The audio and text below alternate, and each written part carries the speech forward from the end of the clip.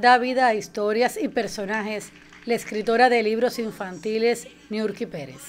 Para celebrar el aniversario 30 de la primera publicación de Cuentos Patatos, se organizó la jornada Bulla Patata por el Centro Provincial del Libro y la Literatura Enrique José Barona, la institución Cultural Ejo, con el apoyo de la Dirección Provincial de Cultura en Camagüey está escrito con un lenguaje muy sencillo y lleva precisamente todo lo que tiene que ver con las relaciones humanas, el calor y los valores que los seres humanos debemos mantener en una sociedad. El programa incluyó narraciones orales del proyecto Catalejo de Cuentos y clara narración del municipio de Nuevitas y una exposición de libros didácticos y artesanales creados por la también narradora e ilustradora a partir de materiales reciclables.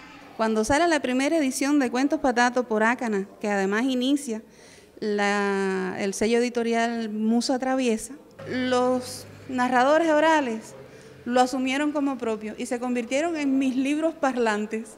Así que el Cuentos Patato tuvo alas por sí mismo. Por su ingenio para cultivar a los pequeños, ha sido merecedora de varias distinciones y premios, como la Puerta de Papel y Puertas de Espejo con numerosas publicaciones, enaltecen la obra de una de las exponentes más destacadas de la literatura infantil. En Camagüey, Aime Amargos, Canal Cubano de Noticias.